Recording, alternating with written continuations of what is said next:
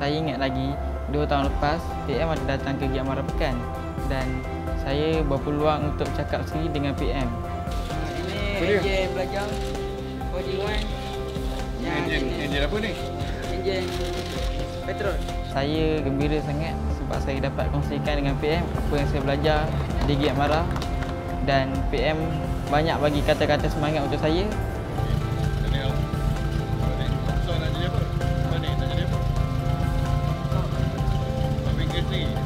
saya menanamkan azam tu dan kini saya dah ada bengkel sendiri.